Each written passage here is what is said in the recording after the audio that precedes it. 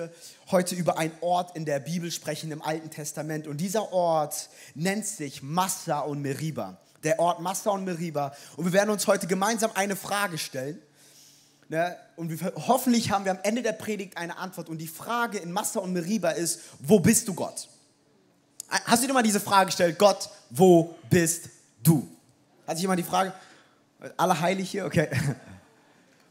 Und vielleicht bist du heute hier und du denkst dir so, ey, Henok, genau deswegen bin ich hier. Ich bin neugierig. Wo ist dieser Gott? Vielleicht bist du zum ersten Mal in der Church und sagst, ja, nun beweise es mir in den nächsten 20, 30 Minuten, wo Gott ist. Oder du bist hier, keine Ahnung, der perfekte Christ und sagst, Henok, was soll das? Was ist das für eine Predigt? Schau doch, so ganz easy. Am Anfang war das Wort, das Wort war bei Gott und das Wort ist Genau, das seid ihr, die es gerade Gott gesagt haben. Und ihr sagt so, Bro, wenn du Gott suchen willst, dann schau doch in seinem Wort.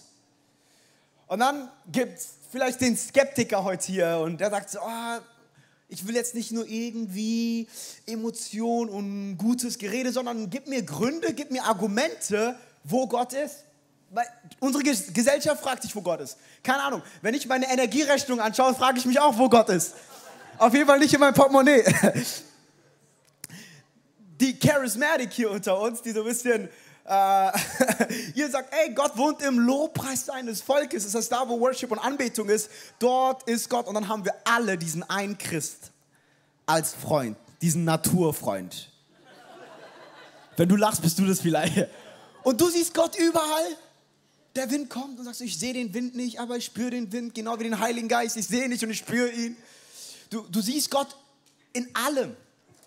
Aber ich möchte uns heute alle herausfordern, egal in was für einer Journey wir sind, dass wir mal diese Spannung aushalten und diese Frage stellen, wo bist du Gott? Ich habe herausgestellt, dass wir uns, wenn wir uns taffe Fragen stellen und uns, wenn wir nicht davor wegrennen, dass wir eigentlich zu viel tieferen Erkenntnissen und Wahrheiten kommen.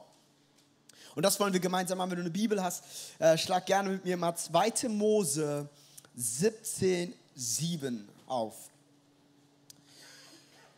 Und Mose gab dem Ort den Namen Massa und Meriba wegen des Streitens der Söhne Israel. Und weil sie den Herrn auf die Probe gestellt hatten, indem sie sagten, ist der Herr in unserer Mitte? Ja oder nein? Im Hebräischen bedeutet Massa und Meriba Prüfung. Probe. Das Volk Israel wurde auf Probe gestellt und sie stellt sich die Frage, Gott, wo bist du? Und wenn wir jetzt diese Stelle lesen, können wir uns denken, so, okay, ganz normale Frage, aber wenn wir uns den Kontext anschauen, ist crazy, was hier passiert. Einige Kapitel davor wird das Volk Israel von der Sklaverei befreit. 400 Jahre in Gebundenheit, 400 Jahre in Schmerz, 400 Jahre in Trauer und dann kommt ein Moment und Gott sendet Mose und das Volk Israel wird befreit. Wie wir befreit sind von diesem Ton, was irgendwo White Noise. und die Heizung, ja, praise God.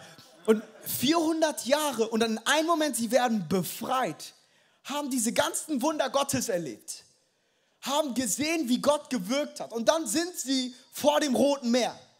Oh, und ich liebe dieses Wunder vom Roten Meer. Wisst ihr, wie meine Mutter mir das damals erklärt hat? Sie hat eine Schüssel damals genommen, dann hat sie so einen Kochlöffel genommen. Kochlöffel war immer gefährlich, wenn wir das als Kinder gesehen haben. Egal, ich verarbeite meine Kindheit. Äh, dann hat meine Mutter den Kochlöffel genommen und hat dann immer ins Wasser draufgestanden. Bam! Und dann hat sie zu mir und meinem Bruder gesagt, so, genau das hat Gott gemacht. Er hat das Wasser geteilt, er hat das Meer geteilt. Und ihr sollt wissen, wenn ihr irgendwann groß werdet, egal was für eine Herausforderung in eurem Leben ist, wir glauben an einen Gott, der einen Weg macht, wo kein Weg ist. Come on. I got a preaching, Mom. Komm mal, wo sind alle praying? Meine Mutter hat mich zu Jesus reingebetet. Sie hat viel geweint, weil sie die Briefe von den Lehrern bekommen hat. oh my goodness. Und hat viel gebetet.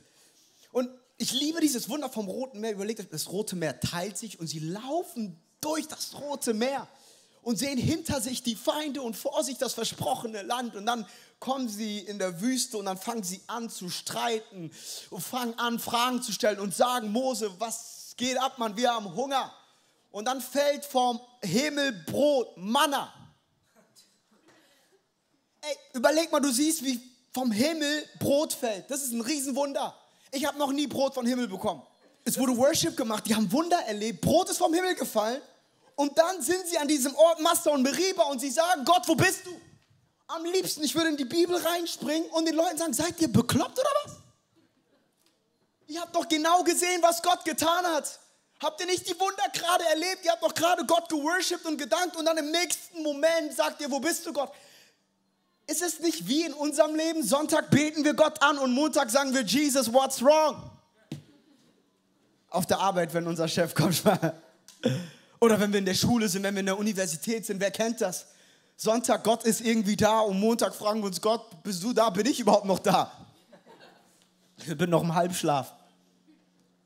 Wir alle stellen uns die Frage, Gott, wo bist du? Ich hatte einen Moment, als ich äh, als Missionar in New York war, ähm, ich hatte so eine Entzündung gehabt an meinem, äh, an meinem Fuß und ist dann so weit gegangen, dass ich neun offene Wunden an meinem Fuß hatte und es war halt crazy. Äh, ich war beim Arzt in Amerika, my goodness, ich, egal, die Kameras sind an. Ähm Ey, ich bin so dankbar für unser Gesundheitssystem hier, egal was die letzten Jahre waren. Wir sind trotzdem noch gesegnet. ähm, auf jeden Fall, äh, die haben das kontrolliert und meinen so, oh, das ist gefährlich, das sieht aus wie sogar ein Gift. Und ich so, what? Wie ist das passiert? Und haben sie gesagt, ey, wenn es, wenn es deine Nerven trifft oder dein Knochen, dann müssen wir deinen Fuß abhaken. Und so hat sie es mir gesagt. Ich so, wie bitte? Ja, ja, so, wenn, wenn, wenn sich das verbreitet, müssen wir ihre Füße abhaken. Ich so, what? Erste, was ich gemacht habe, ich habe meine Mutter angerufen, Mama. Come on, ey. Real men call their moms. Wenn meine Frau jetzt hier wäre, würde sie nicht Amen sagen. und ich habe meine Mama angerufen, ich sag so, Mama, ich so, das haben sie gesagt. Und meine Mama sagt so, ey, entspann dich. Und meine Mama fängt an, aus der Bibel zu sagen, wie schön sind die Füße derer, die das Evangelium predigen. Und ich so, Mama, ist gar nicht schön gerade. Sagt so, du musst jetzt glauben. Mein Vater sofort Flug gebucht, du kommst nach Deutschland, Uniklinik Frankfurt, wurde alles kontrolliert, äh, hab äh, Medikamente bekommen, praise God, alles ist gut. Ich trage diese neuen Wunden immer noch mit mir mit als Zeichen, dass Gott Heilung gebracht hat. Aber zu dem Zeitpunkt, ich habe mich gefragt, Gott, wo bist du? Ich weiß doch, in dem Moment, Alter Gott, bist du noch da? Ich weiß doch, ich habe damals meine Verlobte Betty, äh, übrigens eine wunder, wunderschöne Frau, my goodness. Sie ist so schön, das Zelt würde richtig, die Sonne würde hier aufgehen. Ähm, und ich habe damals, ich habe mit ihr dann geredet und ich habe gesagt so, ey, würdest du mich auch heiraten, wenn ich keine Füße habe? Und sie sagt so, was ist los mit dir? Ist alles noch klar? Ich habe gesagt so, Schatz, schau mal, ich bin schon so klein, aber wenn ich keine Füße habe, so, Ah, Pain, Pain, that's my life. Aber David war auch klein, aber gesalbt, come on. Nicht euer Pastor, ich rede von der König David. oh my goodness. Praise God. Und zu diesem Zeitpunkt, ich habe ich hab Gott gefragt, so, ey, bist du da? Weil ich diene dir, ich bin auf Mission, es muss doch alles laufen. Aber ich habe mir diese Frage gestellt und ich habe, zu dem Zeitpunkt habe ich ein äh, Gedicht geschrieben, um einfach und ich nehme euch mit diesem Gedicht mal hinein in meine Gefühlswelt. Ich habe geschrieben, wo bist du Gott? Ich sehe dich nicht, ich spüre dich nicht. Ich öffne meine Seele, doch du bist nicht. Wow, der Herr kommt. Du bist nicht da, doch ich will dein Licht. Ist es noch wahr? Bin ich dein Kind? Es fühlt sich an wie tausend Jahre doch in Wirklichkeit nur ein Tag. Ist aber ein Tag nicht wie tausend Jahre? Gott, ich erspare mir die Frage. Es macht mich fertig, Verzweiflung ohne Ende. Bist du noch gegenwärtig? Wann kommt endlich die Wende? Wann kommt die Wende? Wann kommt der Durchbruch? Wann wirkst du in meinem Leben? Als das Volk Israel in der Wüste war, waren sie blind und taub für Gottes Wirken. Ist nicht krass, dass oft in den Zeiten der größten Wunder in unserem Leben, dass manchmal auch die größten Zweifel da sind? Crazy, gerade auch in unserer westlichen Welt, wo es uns so gut geht und wir eigentlich unglaublich gesegnet sind, doch trotzdem sagen, wo, wo bist du Gott? Frag mal andere Menschen, die nicht wissen, ob sie morgen überhaupt essen. Ich, ich finde das, ich find das voll, voll krass. Die Wüste, sie macht dich blind für das Wirken Gottes. Sie macht dich taub. Und gerade wenn sie uns taub macht, ist gefährlich, weil die Bibel sagt, dass Glaube von was kommt? Es kommt vom Hören vom Wort Gottes. Das heißt, ich, brauch ich, brauch, ich muss hören, um zu glauben. Ich brauche nicht meine Augen, um zu glauben, weil ich laufe nicht in dem, was ich sehe, sondern ich laufe im Glauben. Und das ist Faith, Leute. Aber wenn ich nicht höre, bedeutet das, wo ist der Glaube? Es gab es davor vielleicht ein Hören in der Zeit, wo ich nicht in der Wüste war. Und deswegen, Freunde, es ist ganz wichtig, wenn über das Thema Glaube und in der Wüste, in der Wüste, wo, wo du blind und taub bist, brauchst du einen tieferen Glauben als sonst. Einen Glauben, der jetzt nicht darauf basiert, ob du nochmal wieder ein Wort hörst, sondern das Wort in dir verinnerlicht hat. Deswegen sagt König David, ich habe das Wort Gottes in mir versteckt, dass ich in Zeiten der Not nicht gegen ihn sündige. Das Wort Gottes ist tief in mir drinne. Freunde, es brauchte Glauben, dass das Volk Israel von der, von der Sklaverei befreit wird. Doch es braucht noch mehr Glauben, in der Wüste zu überleben. Es brauchte Glauben, dass du errettet worden bist. Doch es braucht noch weiteren, tieferen, festen Glauben, dieses Leben als Christ nun zu leben. Sorry, christliches Leben ist nicht Friede, Freude, Eierkuchen. Und oft haben wir so Predigen gehört, oh, jetzt ich werde Christ und born, jetzt kommt meine Frau und dann kommt das und dann kommt diese. No, Jesus sagt, wer mir nachfolgen will, der verleugne sich selber. Das bedeutet dein Ego am Boden. In dieser Welt werden wir immer noch Probleme haben. In dieser Welt sind wir nicht von diesen ganzen Dingen verschont. Doch es gibt einen Unterschied. Damals war ich allein im Sturm, doch heute ist Jesus Christus an meiner Seite. Come on. Ich gehe nicht alleine durch den Sturm, weil Gott mit mir ist, auch mitten in der Wüste. Ich brauche einen tieferen Glauben. Ja, der Glaube hat mich von dieser Sünde befreit. Der Glaube hat dich befreit von dieser Sucht. Es hat dich befreit von dieser toxischen Beziehung. Es hat dich befreit von dieser Negativität. Doch es braucht weiteren Glauben, in das versprochene Land hineinzulaufen.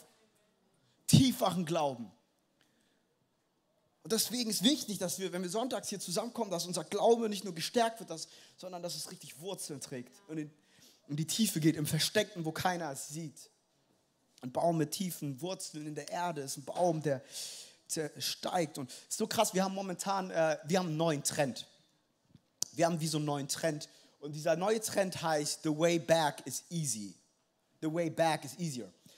Wir haben einen neuen Trend in unserer Zeit, wo, wo es irgendwie einfacher ist, zurückzugehen zu dem Alten und zum Bekannten, als vorwärts zu laufen zu dem, was Gott für uns verheißen hat.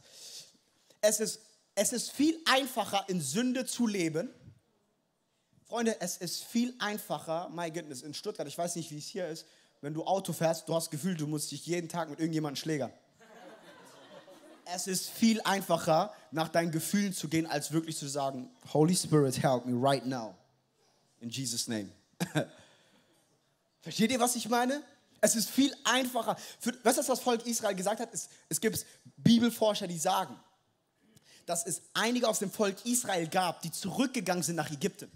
Und es gibt Verse, mehrere Verse in der Bibel, wo sagt, oh, in Ägypten hatten wir Fleisch. Das verstehe ich. Aber in Ägypten hatten wir Zwiebel. Zwiebel! Das sagt die Bibel. We had meat and onions. Und ich denke mir, okay, bei Fleisch verstehe ich dich, Bro, aber Zwiebel! Du gehst doch nicht. Und oft gehen wir es für so unnötige Dinge wieder zurück zum Alten. Zurück zu dieser alten toxischen Beziehung. Diese Person, wo wir wissen, sie tut uns nicht gut. Es ist immer einfacher, in dem Alten zu leben, in deiner sündigen Natur zu sein, als das Neue anzunehmen, wer du in Christus bist. Und deswegen leben wir in der Zeit, wo viele sich von Jesus Christus abwenden und viele public gehen auf YouTube, Instagram, manche auf Facebook und sagen, that's why I'm leaving Christianity. Freunde, in einer Zeit, wo Menschen public gehen und sagen, wir wenden uns von Jesus ab, braucht braucht es die Kirche, die sagt, wir gehen public und wir laufen zu Jesus zu. Komm on, wer es glaubt, sagt Amen. My goodness. Ey, ich möchte public mit meinem Faith gehen. In der Zeit, wo und das passiert ganz besonders mit Millennials Generation. Wir kennen alle Leute, die sagen, the way back is easier, weil sie an diesem Ort Massa und Meriba sind. Dieser, das ist nicht ein neues Phänomen, das gab es schon immer wie die Bibel sagt, nichts Neues. Salomo sagt, nichts Neues unter der Sonne. Es ist alles schon offenbart. Diese Dinge gab es schon, immer. Die Welt war schon immer crazy und sie wird immer auch crazy sein. Letztens kam jemand auf mich so, oh, Herr Doc, Netflix, das sind so alles verrückte Serien und so, was passiert hier und Endzeit und alles Mögliche. Und ich so, ey, wir können über Endzeit in einem anderen Thema reden, aber wir reden nicht über Endzeit, weil in Netflix ein Film läuft, der nicht die christlichen Werte repräsentiert. Netflix wird immer säkular sein. Die Welt wird immer weltlich sein. Hoffentlich ist die Kirche immer Jesus ähnlicher. We need to make sure that the church is clean. Dass die Kirche on fire ist und auf Jesus schaut. Die Welt wird immer die Welt sein. Deswegen sind wir berufen, Einfluss zu nehmen, Veränderung zu bringen. Und nicht dafür zu beten, dass in Netflix irgendwann auch mal christliche Filme kommen. Wenn, praise God.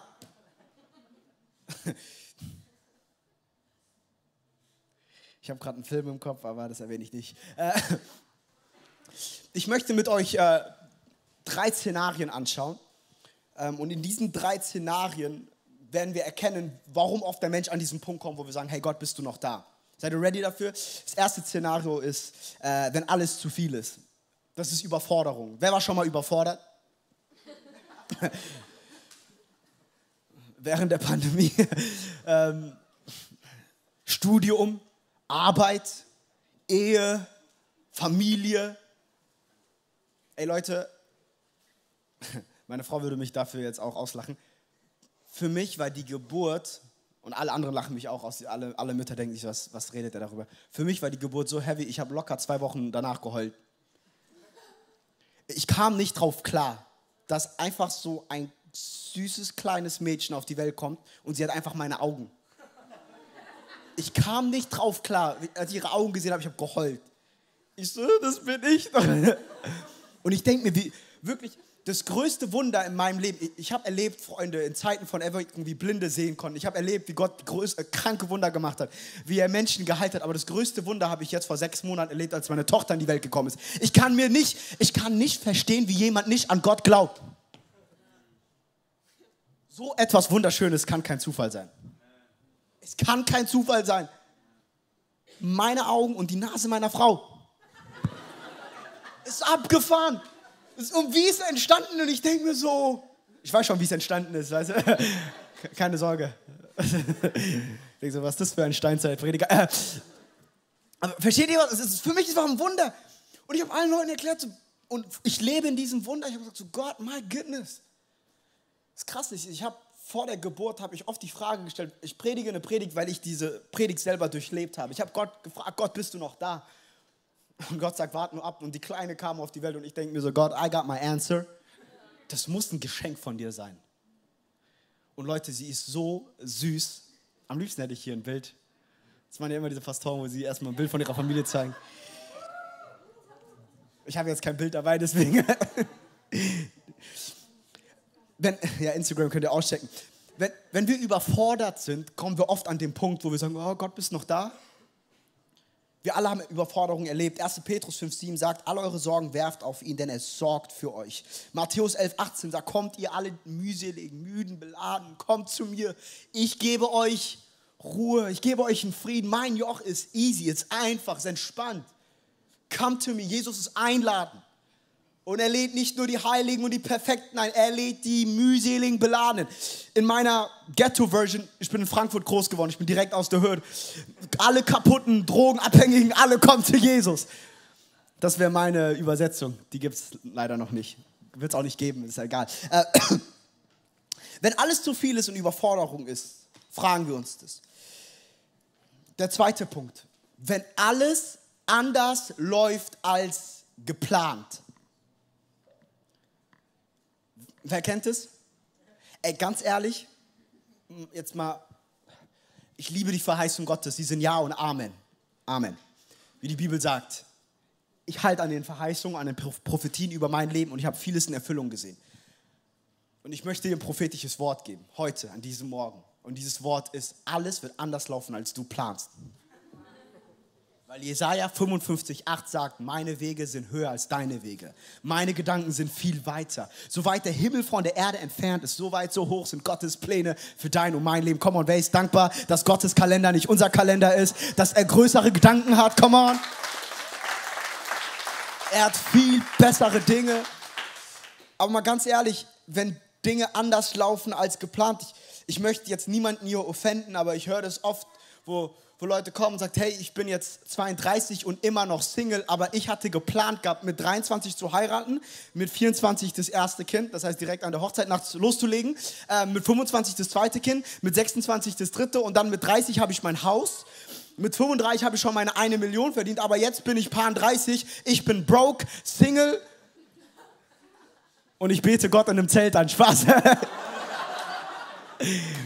Der Herr hat ein Gebäude für euch, praise God. Ich feiere das übrigens, das ist Revival. Aber versteht ihr, was ich meine? Ich will euch nicht zu nahe treten, aber oft ist es so, what, what the heck, was passiert in meinem Leben? Es, ist, es läuft alles anders als geplant. Millennials-Generation, wir sind die Generation mit Zielen und Schritte zu, oh, mit 30 finanziell unabhängig. Gibt es unglaublich viele Bücher. Oh, mit dem habe ich das erreicht. Es geht sehr viel um Selbstverwirklichung. Es ist nicht das Evangelium. Und dann kommen wir an einen Punkt und wir sagen, wait a minute. Ich wurde enttäuscht von meinem Leiter. Ich wurde enttäuscht von meiner Familie. Ich wurde enttäuscht von Beziehungen. Ich wurde enttäuscht von A, B, C, D. Und du wirst merken, alles ist anders gelaufen in deinem Leben. Und jetzt stelle ich dir und mir die Frage, ist Gott immer noch Gott, wenn alles anders läuft in deinem Leben? Darf Gott uns auch mal in Frage stellen? Kann er uns auch mal die Frage stellen, wo bist du eigentlich? Crazy.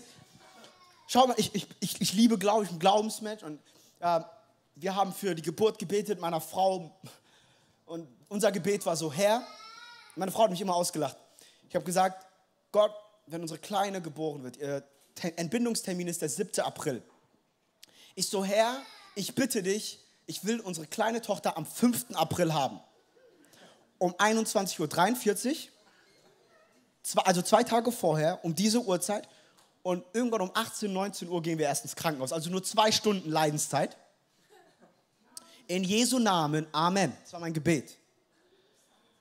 Dann war der 15. April. und Gott, und es war crazy. Und die Frau hatte mehrere Tage Wehen. Dann Herztöne der Kleinen waren unten.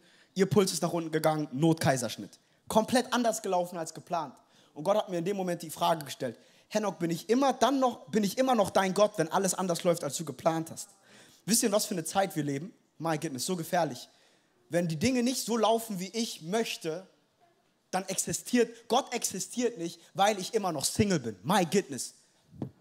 Freunde, unser Glaube soll niemals abhängig sein von äußeren Umständen, sondern unser Glaube soll Einfluss nehmen auf jeden äußeren Umstand. Gott ist immer noch Gott, egal was passiert. Und das Krasse ist, wir haben in unserer westlichen Kultur ein, ein falsches Gottesbild. Und wisst ihr, wie unser Gottesbild aussieht? Unser Gottesbild sieht so aus. Nur wenn Gott das und das tut, dann ist Gott Gott. Und deswegen malen wir unseren eigenen Gott. Das ist Götzendienst. Freunde, Gott ist auch dann Gott, wenn die Geburt komplett schief gegangen wäre. Er wäre ihm egal, was passiert. Sogar die Bibel sagt, ihr werdet in dieser Welt durch Probleme, Sorgen gehen, doch habt keine Angst. Ich habe diese Welt überwunden. Ich finde das so crazy. Dass wir oft an diesem Punkt sind, wo wir Gott in Frage stellen und sagen, Gott, wo bist du? Nur auf, wie egoistisch ist das eigentlich? Oh Herr, meine Finanzen sieht gerade nicht gut aus, das heißt, dich gibt es nicht, du bist doch nicht Jehovah Jireh. Er ist trotzdem der Versorger, auch wenn du es momentan nicht jetzt gerade erlebst. Weil du bist gerade nur in einem Kapitel deines Lebens. Das Leben geht weiter, du weißt nicht, was Gott da macht. Was, frag doch mal Josef, wie hat er das gemacht? Als er im Gefängnis war. Obwohl er es nicht verdient hat. Doch Gott hat einen größeren Plan. Wir fragen oft Gott, wo bist du, wenn alles anders läuft als geplant. Das, das dritte Szenario ist. Ähm, und darüber, ich glaube, ihr habt jetzt eine Serie, wo es auch um die geistliche Welt geht. Deswegen, ihr werdet diesen Punkt verstehen. Das dritte Szenario, wo wir Gott fragen, wo bist du, ist, wenn der Feind dich angreift. Anfechtung. Erstes Überforderung, zweites Enttäuschung, wenn wir enttäuscht worden sind. Und das dritte ist Anfechtung wenn der Feind dich angreift. Und das habe ich ganz stark für diesen Sonntagmorgen hier im Service. Einige von euch, ihr seid gerade so richtig unter Beschuss. Und wisst ihr, der Feind hat es immer abgezielt auf seine Kirche und äh, auf die Leute, auf euch, auf jeden Einzelnen. Und wir wollen nicht in der Kirche darüber reden. Doch ich will dir sagen, dass die Anfechtung eigentlich ein Zeichen davon ist, dass Gott Berufung in dein Leben hat. Der Feind hat Angst vor dir und weil er Angst vor dir hat, er ist wie ein, wie ein kleiner Hund, der versucht dann laut zu bellen und versucht dir Angst zu machen und er greift dich an. Doch da, wo du gerade Angriff in deinem Leben hast, ich möchte heute da prophetisch hineinreden. Gott hat was Großes mit dir vor. Halte durch. Jesus wurde auch in der Wüste angegriffen. Doch wenn Jesus angegriffen worden ist, was hat er gemacht? Er hat gesagt, it is written, es steht geschrieben. Freunde, du hast ein Schwert bekommen und das ist das Wort Gottes wenn der Feind dich angreift. Stand firm. Nimm das Wort Gottes. Das sind diese drei Szenarien, warum wir fragen, Gott, wo bist du? In Massa und Meriba, der Feind greift dich an. Er macht es über Träume, über verschiedene Wege, auch da, wo er offene Türen hat. Wisst ihr, als, als mein Bruder und ich groß geworden bin, ich habe ein bisschen von meiner Mom erzählt, wir sind wie Soldaten groß geworden jeden Abend haben wir Epheser 6,12 gebetet und haben die Waffenrüstung Gottes angezogen. Und meine Mutter hat gesagt, ihr geht als Krieger schlafen, weil in der Nacht der Feind angreift. Und sagt, ihr steht als Krieger auf. Und jeden Abend haben wir dieses Gebet gesprochen und ich nehme den Helm Gottes des Heils, ich nehme den Brustpanzer der Gerechtigkeit, den Kurt der Wahrheit, Schild des Glaubens und Schwert das Wort Gottes und, und wir rüsten uns. Und meine Mutter hat uns früh beigebracht, dass es, da gibt es einen geistlichen Kampf in dieser Welt. Und jetzt bin ich im Dienst zehn Jahre und ich darf erleben, seitdem ich 17 bin, wie Gott mich gebraucht. Und eins der größten Schlüssel ist, dass ich stark sein kann in Zeiten der Not, in Zeiten, wo der Feind angreift, wo er versucht, meine Familie kaputt zu machen, wo er versucht, meinen Dienst zu zerstören. Und ich stehe und ich fange an, das Wort Gottes über den Feind auszusprechen, weil der Feind hasst das Wort, weil das Wort Jesus Christus selber ist. Wenn alles zu viel ist, wenn alles anders läuft, wenn der Feind dich angreift. Ich möchte dir drei Tipps geben, wie wir in Massa und Meriba überleben. Drei Tipps, drei Dinge, die du mitnehmen kannst für dich, ganz praktisch. Und eigentlich, wenn ich jetzt ehrlich bin, wenn du die ganze Predigt nicht aufgepasst hast und irgendwo woanders mit deinen Gedanken warst und geschlafen hast, no judgment, so easy, entspannt. Ich habe früher auch in der Kirche geschlafen, deswegen habe ich Gnade. Ähm, es war nicht der Feind damals, es war the peace of God, come on. Äh, Amen. ähm, wenn du aber jetzt aufpasst, diese drei Dinge nimmst, ist eigentlich genau das, was ich heute euch mitgeben möchte. Eigentlich sind die Predigten, kann man alles in fünf Minuten machen. Wir labern immer noch rum, obwohl es kein Labern ist, das Wort Gottes. Ähm, Nummer eins ist, in Zeit, wenn du Masse und Meriba bist, dann remember und erinnere dich, was Gott getan hat in deinem Leben. Es kann sein, dass Gott mit in deiner Erinnerung lebt in Zeiten der Not ich liebe das in der jüdischen Kultur, das Pessachfest. Ihr seid vertraut im ICF damit. Ganz stark. Im Pessachfest wird daran erinnert, was Gott gemacht hat, als das Volk Israel befreit worden ist von der Sklaverei. Das machen die Juden immer, immer. Bis zum heutigen Tag erinnern sie sich dran und erklären ihren Kindern, sie sagen ihren Kindern, schaut mal Kinder, das ist das Bittere und Gott hat uns aus dieser Bitterkeit rausgenommen. Und jede Plage wird durchgegessen gefühlt. Ist krass. Schabbat. Als ich in Israel war und wir Sabbat gefeiert haben, ich fand es richtig krass. An Sabbat gedenkst du an den Ruhetag. Das brauchen wir in unserer Zeit, oder? Und jede Woche hast du einen Tag in der Woche, wo du daran denkst, was Gott getan hat. Die Schöpfung, dass er am siebten Tag geruht hat. Dass wir alles aus der Ruhe machen und nicht aus der Hektik, weil aus der Hektik entsteht nichts Gesundes, aus der Ruhe kommen gesunde Sachen. Jesus sagt, ich kann mit deinen sechs Tagen viel mehr machen als mit deinen verrückten sieben Tagen. Aber da gedenkt man, Abendmahl, was machen wir beim Abendmahl? Wenn wir das Abendmahl nehmen. Jesus sagt, nimm dieses Mahl als Erinnerung und gedenk daran, was ich am Kreuz. In dem Moment, wo du das Abendmahl nimmst, nimmst du die Realität von dem Kreuz und von Golgatha, Golgatha in deiner Gegenwart. Wenn ich das Abendmahl nehme, wenn ich das Brot breche, ist das Körper von Jesus. Bam, der Durchbruch für mich am Kreuz. Und wenn ich, wenn ich das trinke, das, das ist das Blut von Jesus Christus, was mich reinigt. Das Abendmahl, das Abendmahl Jesus präsent, macht das Kreuz, die Botschaft. Durch das Abendmahl erinnern wir uns an das, was Gott getan hat. Noch heftiger. Josua 4, 6 bis 7. Als das Volk Israel durch den Jordan ging, nicht das Rote Meer, haben sie zwölf Steine mitgenommen. Ich habe es nicht verstanden. Warum nehmen sie zwölf Steine mit? Wollen sie die Steine anbeten? Nein, die zwölf Steine stehen für die zwölf Stämme in Israel. Und guck mal, was das Volk Israel macht. Die sagen, wenn eure Kinder später einmal fragen, was bedeuten diese Steine? Was bedeuten diese Steine? Sollt ihr ihnen sagen, weil das Wasser des Jordans weggeflossen ist vor der Lade des Herrn, als sie durch den Jordan gingen, sollen diese Steine für das Volk Israel ein ewiges Andenken sein. Diese Steine sollen den Kindern und deren Kindern und ihren Kindern eine Erinnerung sein, dass wir einen Gott haben, der einen Weg gemacht hat durch das Jordan. Er hat einen Weg gemacht durch das Rote Meer und er wird treu sein, egal wo wir sind, dass er weiter einen Weg machen wird. In dem Moment, wo du dich dran erinnerst, Gott, wo bist du? Vielleicht in deiner Erinnerung. Erinner dich, wo Gott dich herausgeholt hat. Power, es hat Power. Doch zum Glück lebt Gott nicht in unseren Erinnerungen er lebt auch in unserer Gegenwart im Heiligen Geist. Aber es beginnt mit dem Erinnern. Ich glaube, ich bin heute hier, um euch zu erinnern, dass wir anfangen wieder to remember. Was hat Gott in deinem Leben gemacht? My goodness, wenn ich zurückschaue, 2011, 17. November, Gott hat mich befreit, my goodness, von der Speisenröhrenentzündung geheilt.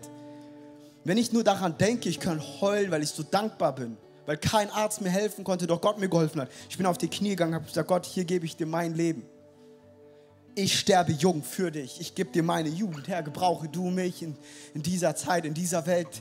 Ich habe gesehen, dass du real bist. I don't need any proof. Du bist in mein Leben gekommen. Ich erinnere mich und es gibt mir Kraft. Wisst ihr, Gott hat zu uns gesprochen 2021 durch Ben Fitzgerald. Ihr kennt den, der war jetzt auch hier bei Night of Hope. Meine, wir waren im Restaurant essen, schaut meine Frau an und sagt so, du wirst dieses Jahr schwanger. Und ich war so, Bro, don't do this. Das war nicht unser Plan. Sagt so, I really feel it. Und Gott hat zu uns gesprochen, 2021 wird das Jahr der Gnade sein. Und ich war so, ist dann Connection. Drei Monate später, meine Frau im dritten Monat schwanger. Let's go. Crazy. Und Gott hat gesagt, es wird das Jahr der Gnade sein. Und wir haben unsere Tochter Layana Hope genannt. Layana bedeutet, Gott ist gnädig. Jedes Mal, wenn ich die Kleine jetzt anschaue, es ist für mich wie so ein ewiges Andenken. Und wenn ich in ihren süßen Augen sehe, das sind auch meine Augen, sorry, das war egal. Ähm, wenn ich in ihre Augen schaue, dann denke ich dran, my goodness, Gott, du bist gnädig. Und es kann sein, dass 2033 ich an einen Punkt komme, wo ich genau das brauche. Dann hoffentlich schaue ich meine Tochter an und ich erinnere mich dran, was Gott getan hat. There's power when we remember. Zweiter Punkt ist, ich werde nicht ganz viel darauf eingehen, verlass dich nicht auf deine Gefühle. Deine Gefühle sind wichtig, sie sind Warnsignale, your soul matters. Aber ganz ehrlich, dieses Leere von verlass dich auf deinen Gefühlen, jetzt mal ehrlich, das Problem haben wir mit vielen Machthabern, weil sie sich auf ihre Gefühle verlassen und in den Gefühlen verletzen. Nee, ich verlasse mich nicht auf meine Gefühle und Emotionen, ich verlasse mich auf den Herrn. In Master und Meriba verlasse ich mich nicht auf mein Gefühl. Gott, wo bist du? Es ist vielleicht ein Gefühl, aber es ist nicht die Wahrheit. Und der dritte Punkt ist, bleibe nicht in Master und Meriba, sondern fang an weiter zu laufen. Es ist okay zu zweifeln, aber bleibe nicht an dem Ort des Zweifels. Move on. Lasst uns einen Schritt weitermachen. Wir bleiben nicht in Massa und Meriba. Wir sind nicht berufen, in Massa und Meriba ein Zelt aufzubauen. Wir sind berufen für das versprochene Land, wo Milch und Honig fließt. Church, ihr seid nicht berufen, da zu sein, wo ihr momentan seid, sondern Gott ruft euch in eine weitere neue Realität. Und Gott sagt heute zu euch an diesem Sonntagmorgen, move on, auch persönlich in dein Leben. Bleib nicht in der Trauer, bleib nicht in dem Schmerz, bleib nicht in der Bitterkeit, sondern move on, lauf weiter. Ich habe größere Dinge für dich geplant. Gib nicht auf, mein Sohn, meine Tochter, ich bin noch nicht am Ende. Und wenn ich nicht am Ende bin, bist du noch nicht am Ende. Let's move on. That's it. Und ich würde jetzt gerne meinen Predigtitel ändern.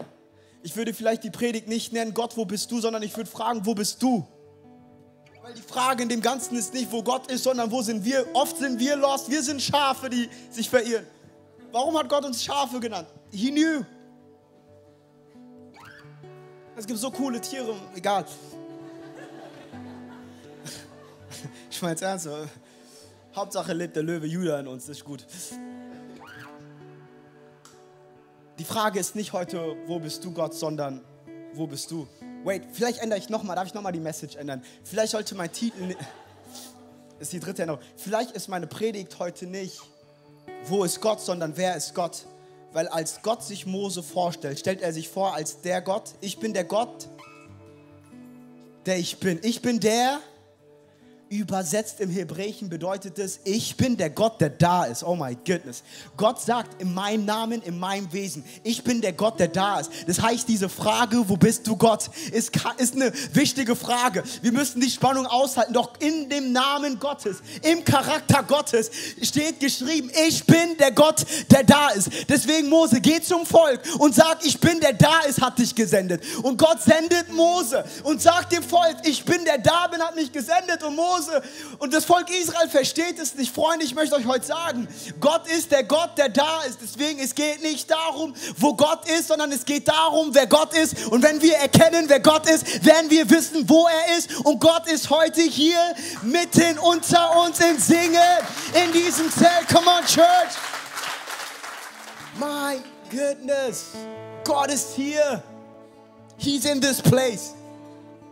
Er ist nicht nur irgendwo da in der Luft, sondern er ist mitten unter uns. So schön, dass du dabei warst. Lass uns doch ein Like da und tipp auf Abonnieren und auf die Glocke, dann wirst du kein Video mehr verpassen, das von uns online geht. Uns wird es aber auch riesig freuen, dich in Person kennenzulernen. Komm noch mal sonntags vorbei in einer von unseren Locations und dann wird es uns riesig freuen, dich dort kennenzulernen. Auf der Seite haben wir einen QR-Code zu PayPal und auch einen Link mit anderen Zahlungsmethoden, wenn du sagst, dass du uns finanziell unterstützen möchtest. Vielen Dank für alles, was du gibst. Uns wird es auch riesig freuen, dir zu helfen, in deinem Leben mit Jesus durchzustarten. Und wenn du heute dein Leben Jesus gegeben hast, dann kontaktiere uns mit dem Kontaktformular unten in der Beschreibung und dann wollen wir dir helfen in den ersten Schritten mit Jesus.